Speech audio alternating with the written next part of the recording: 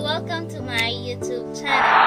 For today's video, mag-open po tayo ng item from JNT Express na in-order ni Mr. Anthony Ular kasabay ng kanyang Ryzen 5 H. So, eto siya. Kanina lang siya dineliver.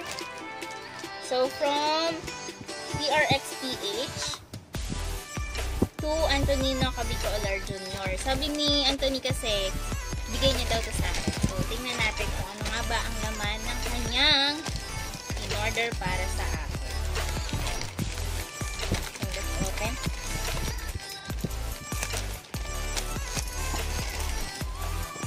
So, yan po. As you can see, it is a tripod T110. Hindi kasi ako mahilig sa ganito. So, trip lang yung pag-gawa ko ng YouTube channel. Tripod 3110, three-way head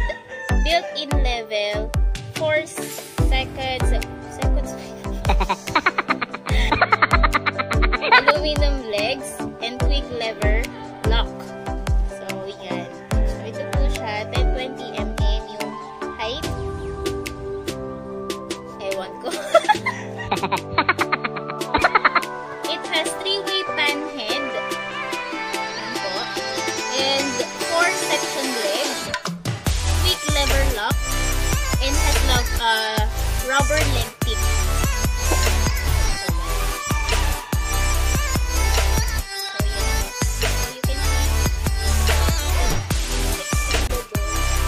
It was at this moment that he knew. He fucked up. So, yan. So, maganda siya. Yung quality niya din, ah, mahirap lang siyang higitin pero matibay. Oh, tripod. So, pwede rin siyang i-extend. Yan. And, so yan. So, ganito pala buksan yun. Open siya, then hihigit. yan, no. Ganun pala yun. Sorry.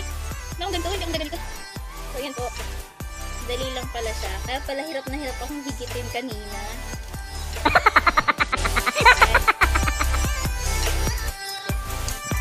Sa mga kagaya ko na hindi naman mga techie like this,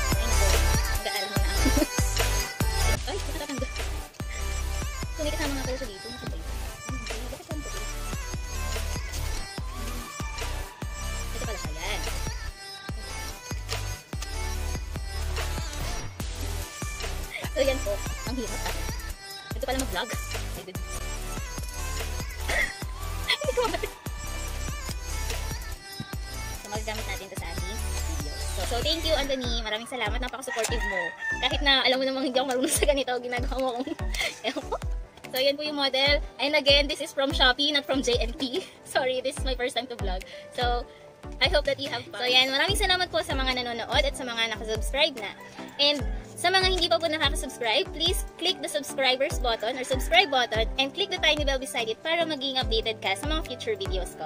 Thank you and bye-bye. And if may suggestions pala, you are free to comment down below. So, bye!